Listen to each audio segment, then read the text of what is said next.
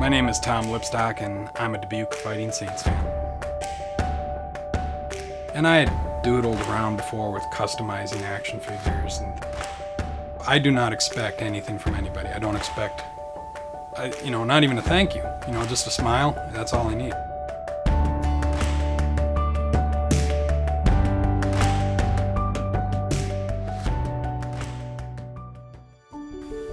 One day I was out at the mall and we were in one of the stores and there was some hockey figures there. And I had doodled around before with customizing action figures and things like that. And I said, I wonder if I could take this and, and paint it and, and design it and make it look like a Saints figure.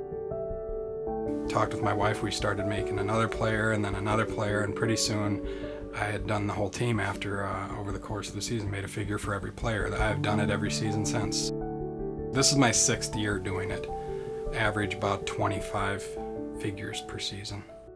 Process, start to finish, starts with getting on Amazon or one of the websites and trying to locate figures.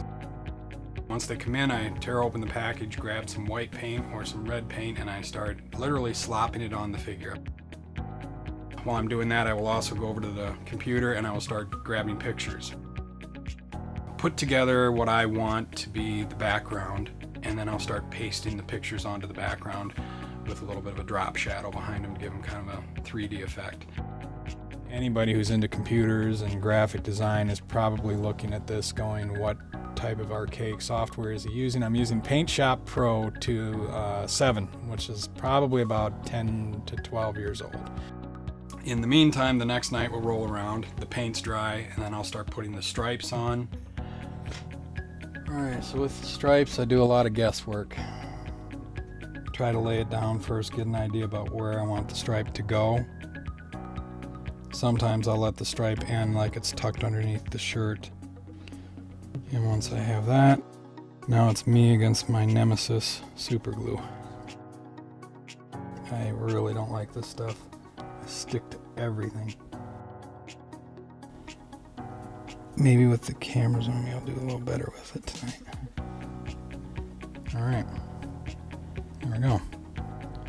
So what I'm doing now is I'm just fastening down the, the decal so it stays put where it needs to be. Now this decal was printed out from the computer using just photo paper. Once all that is on, then I start detailing the helmet, and that's really not that hard. Uh, just paint the helmet with a flat coat of red, let that dry, put another flat coat on, and then do the gloss. One of the things when you do models, you have to be patient and let things dry and be all neat, and I haven't got that kind of patience. I will also print out a little picture I'll design like a kind of like a, a hockey card so what I'm going to do here is I'm going to take this picture of Jackson Castor. I'm going to have to resize it a little bit. And then I'm going to take the outline, the white backing here.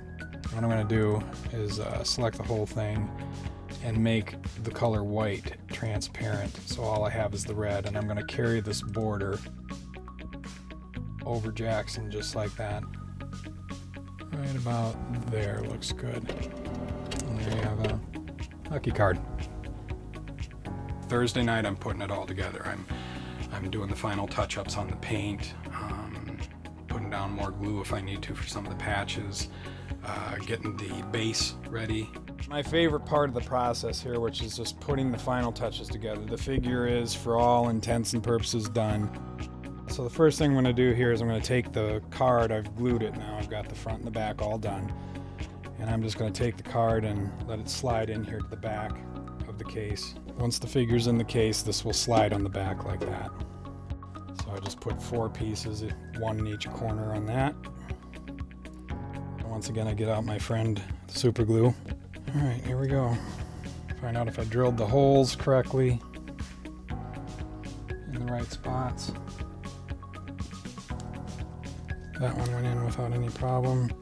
And that one went in without any problem. And there he is silly like that, when I'm putting him in, he's going to stick really, really, really good. This is the card that's going to go on the back of the figure. And now it's done. All that's left now is to hand it off to the player. The main reason I don't ask anything from uh, payment of any type is because I want it to be just something I'm giving to them. I don't want anything for it. It's nothing that I do for profit, for anything like that. That would take the fun out of it. How much he cares about every single one of us and how much he cares about this organization and how much this means to him is pretty cool.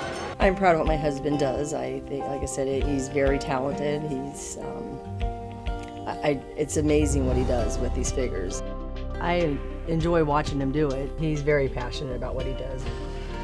None of this stuff happens without the team on the ice. If there's no team, there's no hockey. If there's no hockey, then we don't get to do what we enjoy doing on Friday and Saturday nights. To me, it's a way of giving back and saying thank you. So if you could give a message to these Saints players, what would you tell these guys? Uh, I suppose the first thing I'd tell them is that what they do on the ice, uh, it goes beyond just making the plays and hearing the cheers of the crowd and everything that they actually affect the people that they're playing for. For my wife and I, they've given us a place to go and work off the stress and to make some very, very good friends and to be social and just kind of let loose for other people. They're inspiring kids to, instead of sitting home playing video games, they're inspiring them to go out and play and maybe have a dream of doing what they do someday. We appreciate what they do. It's not always wins and losses, so that would be my message to them.